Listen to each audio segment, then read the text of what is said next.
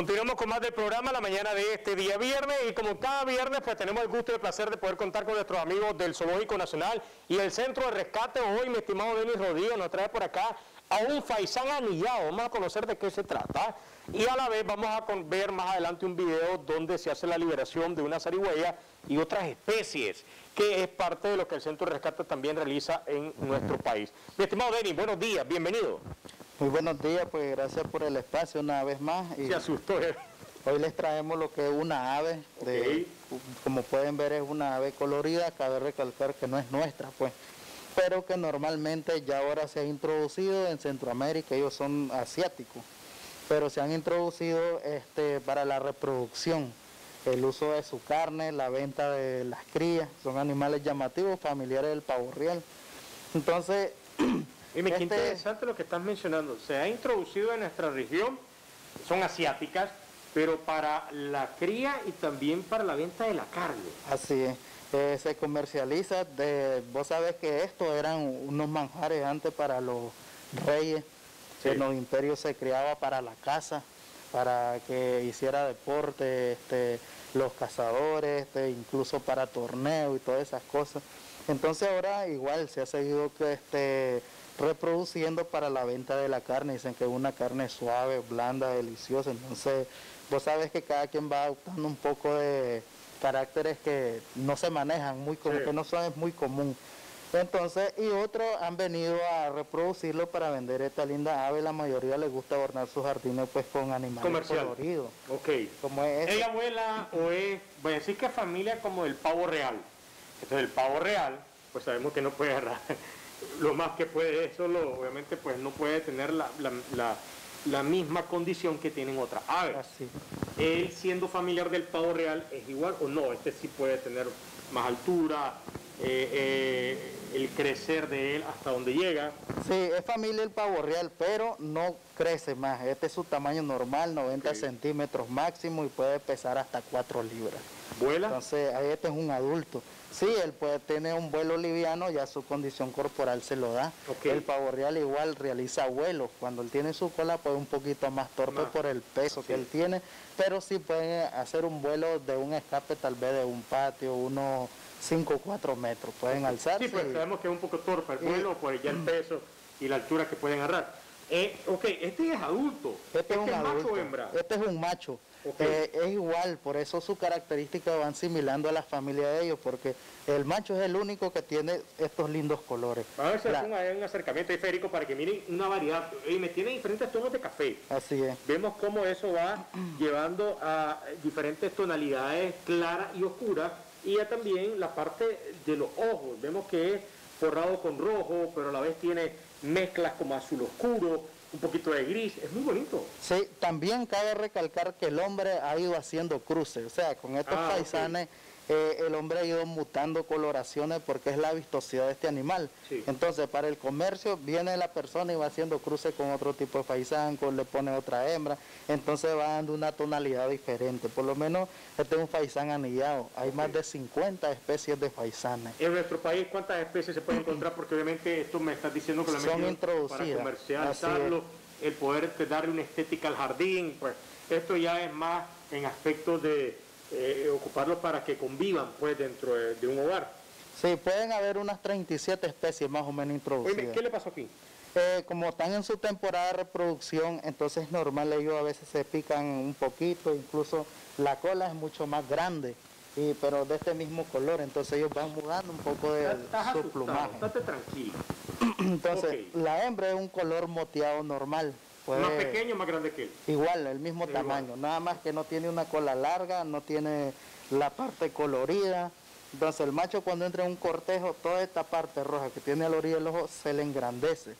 Abre la ala y empieza a hacer pequeños graznidos y le baila a la hembra. Y similar al pavo ¿Cuánto pueden volar? Me decís 4 o 5 metros, pero de distancia eso, pero de altura porque como no, de altura, es lo que se pueden elevar eso. Sí. Ok, y de distancia. Tal vez unos 600 metros. Ok, se te pueden escapar de un patio. Ah, sí, perfectamente. se va. Ok, ahora, eh, ¿cuánto tiempo llegan a vivir? Porque como me estás diciendo que estos son más, a veces domésticos, pues pueden tener una mejor calidad de vida. Pero normalmente, ¿cuánto pueden vivir? ¿Qué es lo que comen? Sí, ya sabemos que su calidad de vida va a depender bastante del cuidado que uno le dé, le da este, y el lugar donde uno los tenga. Si la tiene a la intemperie, sabemos que es un animal que no va a dilatar mucho.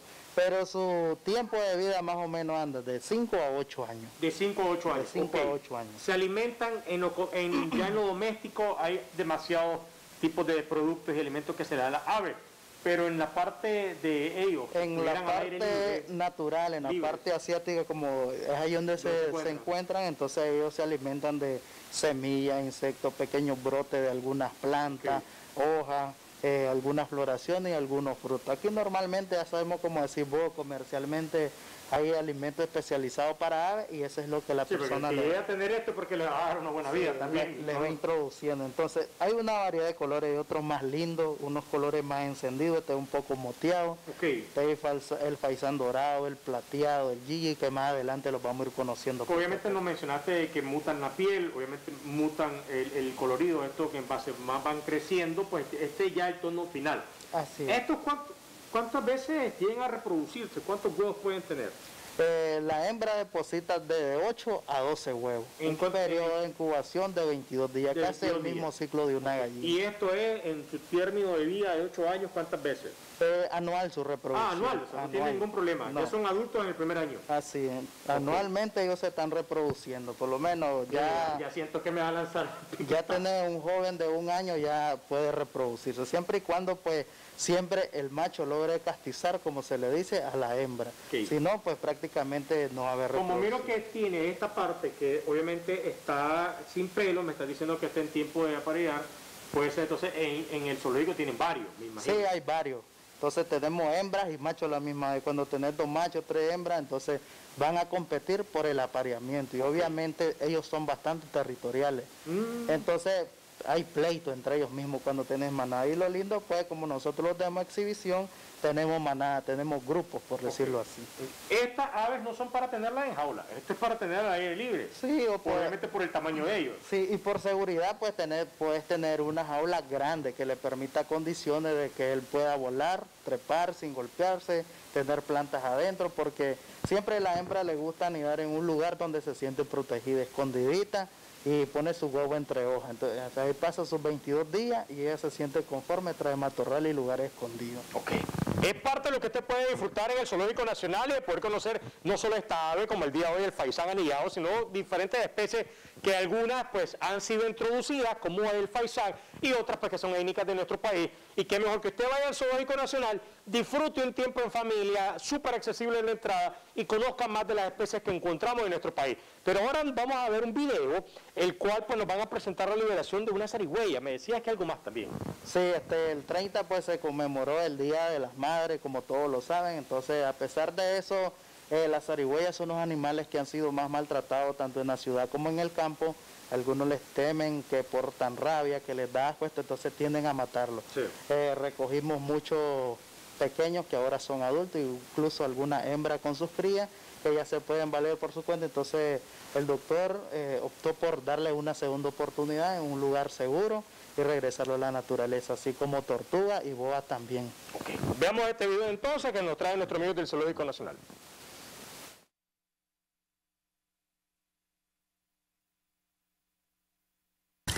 Bueno, eh, mi amigo, amiga, eh, hoy 30 de mayo también vamos a liberar casi ocho zarigüeyas. Algunas de ellas son madres que van a verlas salir con sus crías y entonces también ellas se merecen eh, algo bueno. Y qué mejor el día de hoy, pues que son madres también y van a salir con sus crías a la libertad.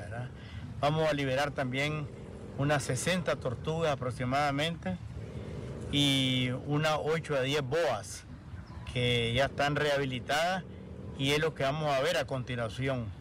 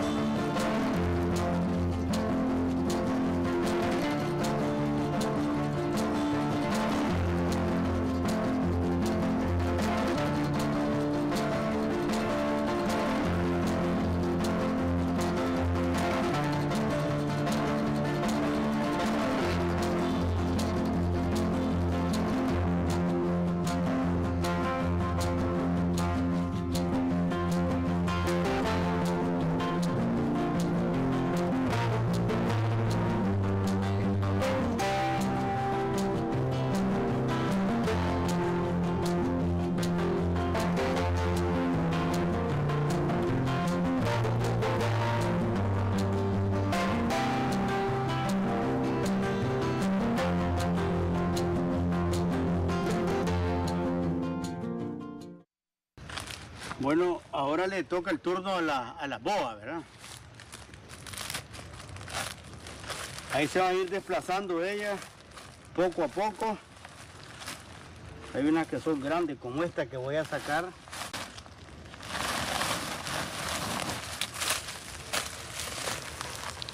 Es una boa grande. Opa.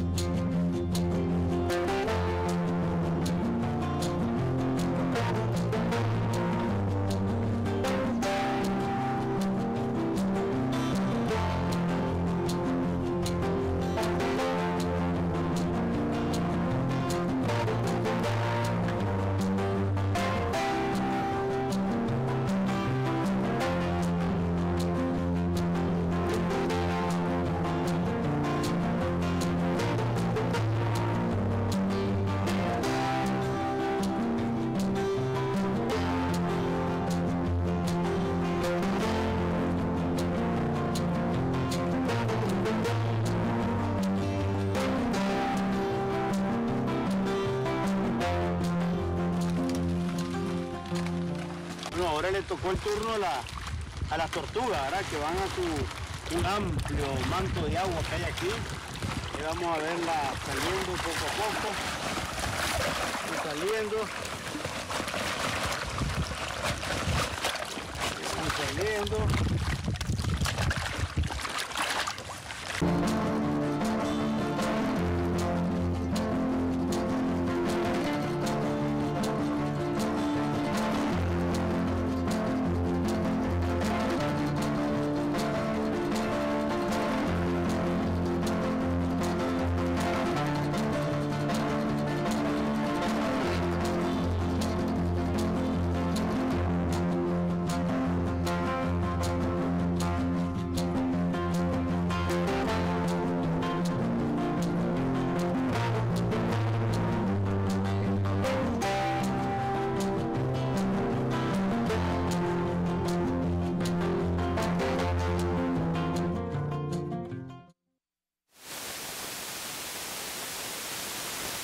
Nos encontraron platicando. Eso fue lo bonito. Y viendo el reportaje, no te preocupes, Denis, vos sabés cómo es. Estamos en vivo. Fue lo bueno. Por eso le decimos que en televisión en vivo es bonito el poder pasar esta experiencia. Mi estimado Denis, estábamos viendo esta liberación, estábamos muy atentos a esta liberación, pero antes de, pasar la invitación del programa de mañana, eh, queremos denunciar, porque don Eduardo se ha dado la tarea de hacer esto de que hay unas páginas en redes sociales que están presentando videos de aquí en nuestro país, en el interior, donde están cazando, ¿verdad? Diferentes especies por, por ellos diversión y entretenimiento, pero eso, eso es salvajismo. Y entonces don Eduardo ha empezado esta campaña para que paren y las autoridades vean quiénes son los que publican este tipo de eh, videos y acciones tan lamentables hacia las diferentes especies que tiene nuestra fauna en este precioso país. Sí, pues la verdad... Calmate, tranquilízate, no te preocupes si ya te vas a ir. Pues la verdad es hacer conciencia, porque como nosotros decimos, se aprobó una ley de maltrato animal, si ven a un perro maltratándolo, es una vida, mal, este, denúncienlo, hay alberga y esto, pero también tenemos que hacer conciencia que los animales que están en la naturaleza tienen su vida propia y entonces cuando nosotros adentramos, nosotros somos los que estamos violentando ese ciclo de vida. Eso, y que freamos el ciclo de vida y la pirámide que existe en la naturaleza para mantener un equilibrio. Ahora, hay leyes que amparan estos animales, tenemos reservas, tenemos organismos que protegen todo esto, ¿dónde están? Entonces, muchos vienen y a veces atacan a los zoológicos, está bien que tengan su manera de pensar, nosotros tenemos una manera de trabajar, así como los proyectos que ha implantado el doctor Eduardo y doña Marina, como es lo del proyecto Tapir, que en la costa atlántica es una cacería indiscriminada. Así es. Hoy por hoy se están reproduciendo más de 24 tapires lastimosamente encerrados en un zoológico. Porque si se dejan libres los cazan. Así, ahorita se ha implantado este proyecto en una reserva que está más controlada, eh, y que lamentablemente tiene que ser privada porque no hay condiciones. Entonces ahora vamos al otro punto. Vienen, critican los zoológicos porque están en predios pequeños. Ahora, si el animal está en su vida libre y estamos adentrando a matarlo, entonces ¿qué papel juegan? O, dónde están esos que refuerzan la seguridad de la vida de estos animales? ¿Para qué se aprueban leyes si no se van a cumplir?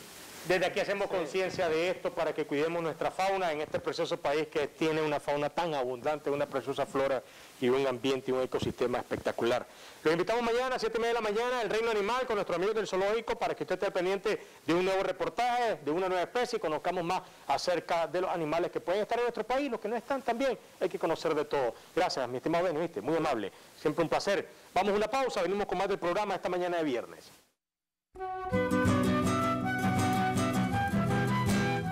Reconocimientos, denuncias, quejas y sugerencias. Envíelas a Canal 12. Programa Buenos Días Nicaragua. Residencial Bolonia. O llámanos a los teléfonos 2266-0691, 2266-9983, 2266-9984. Escríbanos a nuestro correo electrónico canal12 arroba canal12.com.ni. Redes sociales, Facebook Noticias 12 Nicaragua, YouTube, Canal 12 Nicaragua, Twitter, arroba Canal 12 Nic. Visita nuestro sitio web www.canal12.com.ni.